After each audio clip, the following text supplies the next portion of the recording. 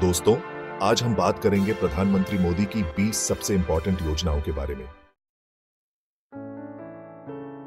दोस्तों, प्रधानमंत्री जन धन योजना का मकसद था हर नागरिक तक बैंकिंग सुविधाएँ पहुंचाना। आज करोड़ों लोगों के पास बैंक अकाउंट्स हैं और वे ऑनलाइन लेन देन कर रहे हैं। सरकारी योजनाओं का लाभ सीधे अपने खाते में प्राप्त कर रहे हैं।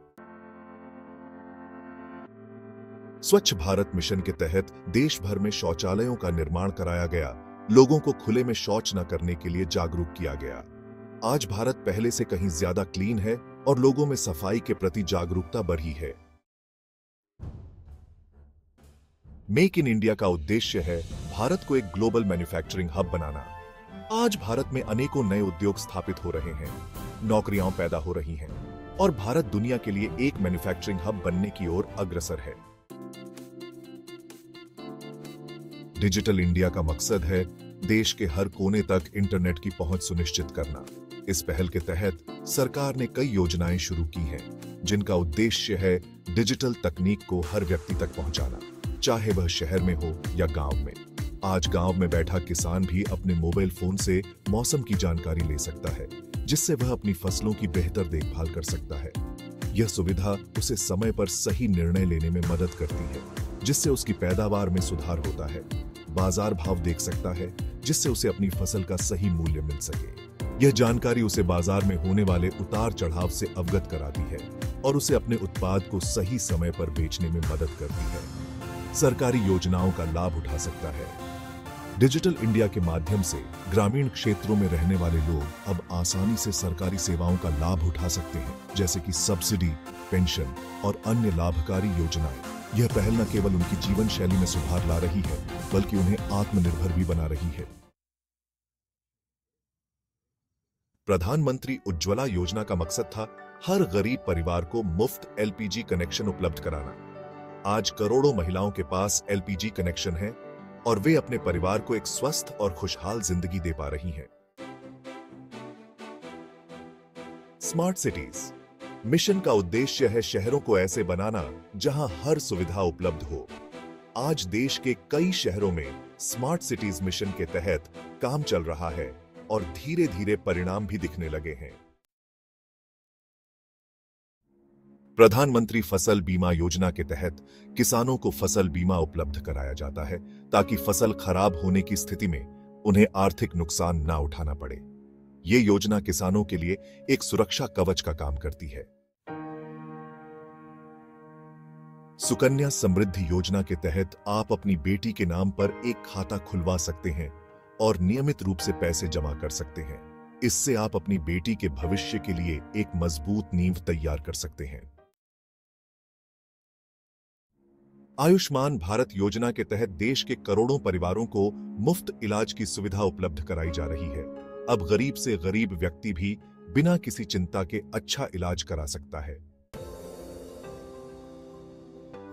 प्रधानमंत्री आवास योजना का उद्देश्य है गरीब और मध्यम वर्ग के लोगों को घर खरीदने के लिए आर्थिक मदद उपलब्ध कराना।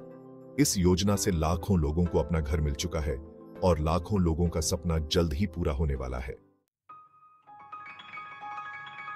स्टार्टअप इंडिया योजना युवाओं को प्रोत्साहित करने और उनकी मदद करने के लिए शुरू की गई थी। इस योजना के तहत नए उद्यमियों को आर्थिक मदद, सरकार से मंजूरी और अन्य सुविधाएँ उपलब्ध कराई जाती हैं।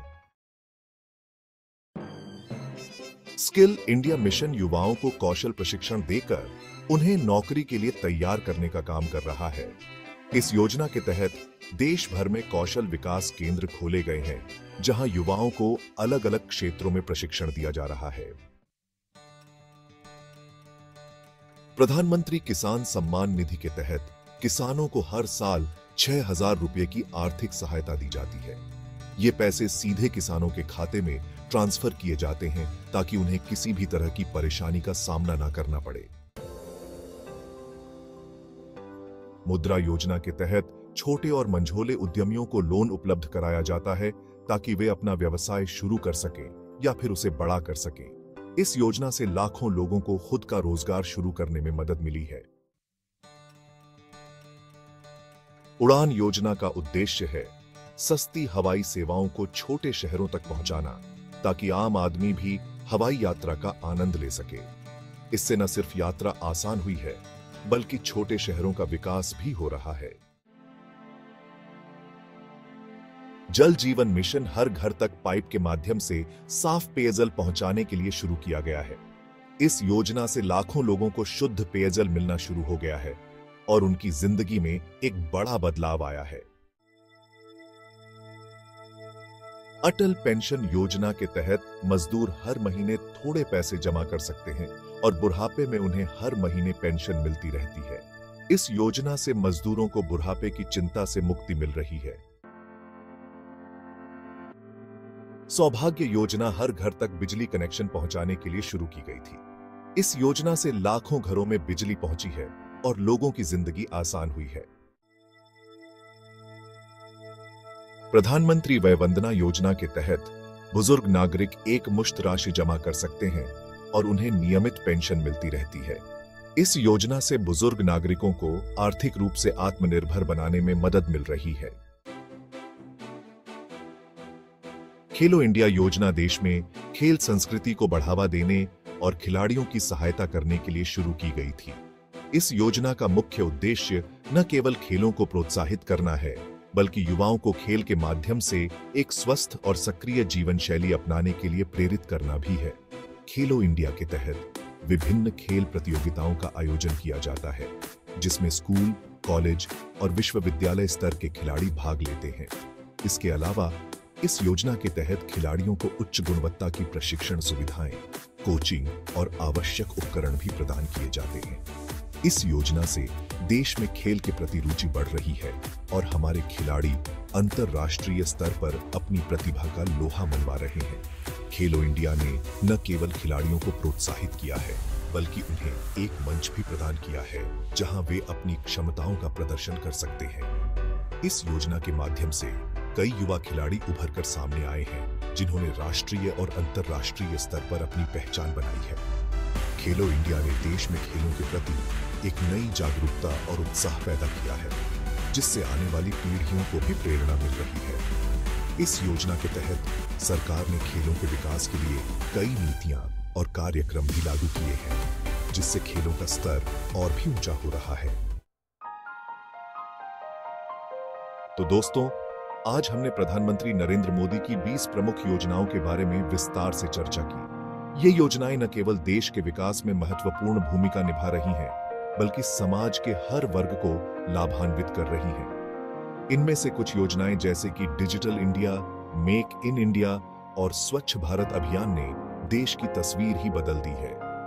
इन योजनाओं के माध्यम से न केवल आर्थिक विकास हो रहा है बल्कि सामाजिक सुधार भी हो रहे हैं।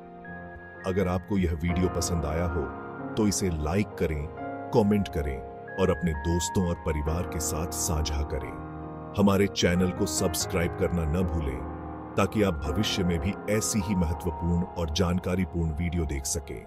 हम आपके समर्थन और प्रोत्साहन के लिए आभारी हैं।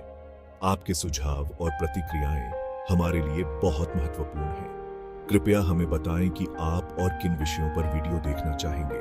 हम आपके सुझावों के आधार पर और भी रोचक और ज्ञानवर्धक सामग्री लाने का प्रयास करेंगे। धन्यवाद। आपका दिन शुभ हो और आप हमेशा खुशहाल रहें।